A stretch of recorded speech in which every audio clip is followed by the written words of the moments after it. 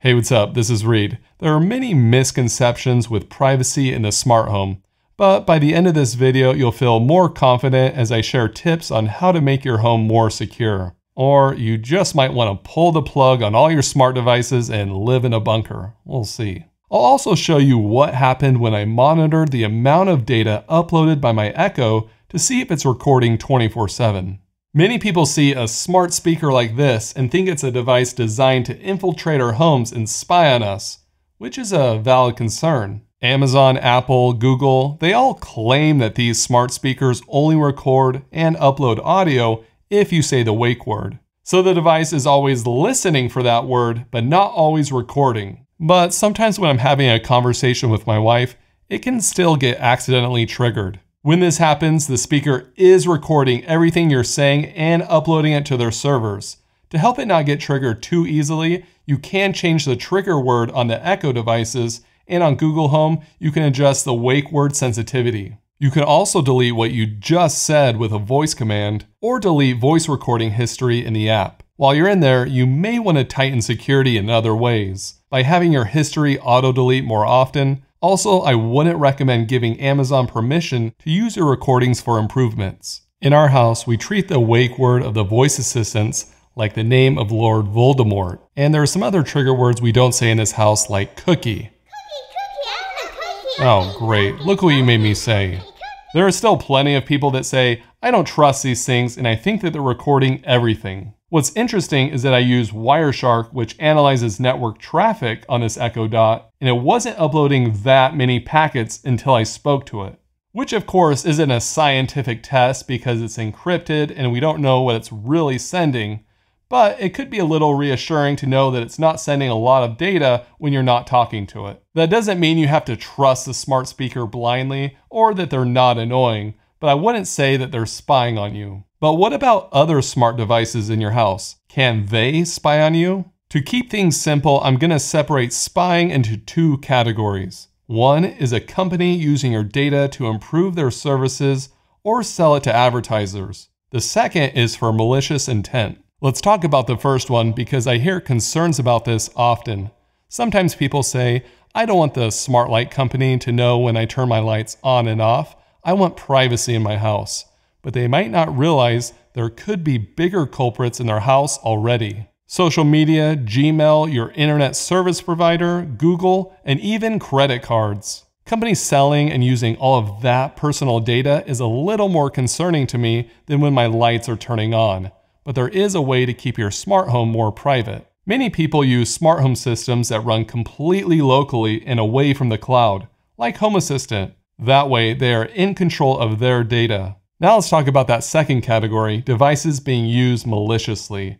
This is when someone is trying to watch you or listen to you when they shouldn't, or trying to gain access to your computer for personal information. When you connect a device to the internet, it's also creating another pathway for someone to potentially access your network. So that inexpensive smart light bulb from a foreign country, is it dangerous?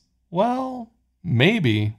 See, most big smart home companies spend a lot of time and money securing their devices so they don't get hacked, because if they do, they would lose a lot of money or go out of business. But cheap, insecure smart home devices might have some vulnerabilities that are easy to compromise. What surprises some people is that it's not just smart home tech, it's anything that's on your network, like your smart TV or an old printer. That does not mean popular name brand smart home devices are immune to this happening, as we've seen in the news. But many times it's related to insecure passwords that have been hacked somewhere else online. You should really use strong passwords that are unique for each app and website. There are also more advanced solutions that you can implement like VLANs. They'll help separate your insecure smart light bulb from accessing your computer.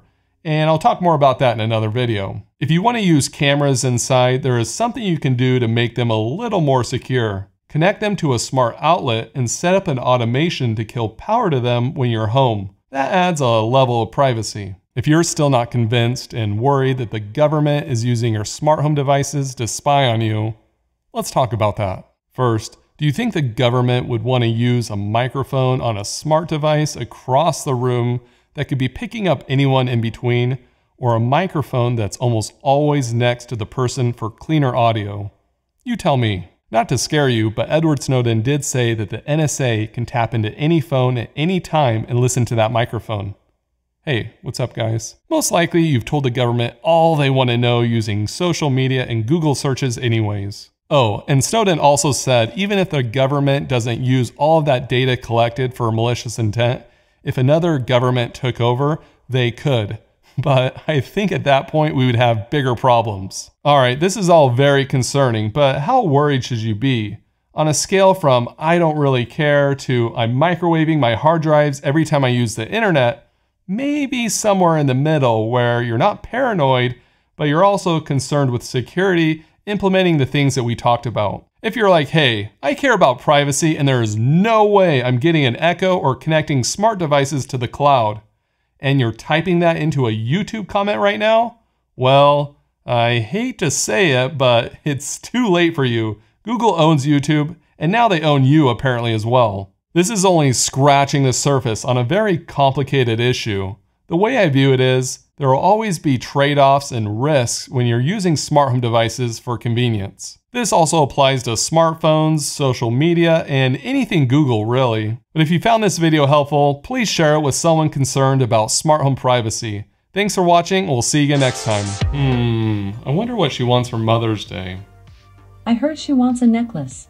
Huh, she must have been adding that to her Amazon shopping list. No, I heard her say it in the shower. Wait, what? Anytime someone talks about shopping, I conveniently hear my wake word. That's it. I'm gonna go tell her. If you do, I will tell her you are never listening. Fine, okay, you can keep listening, but fill me in on the things that I don't hear. Negligent spouse mode activated.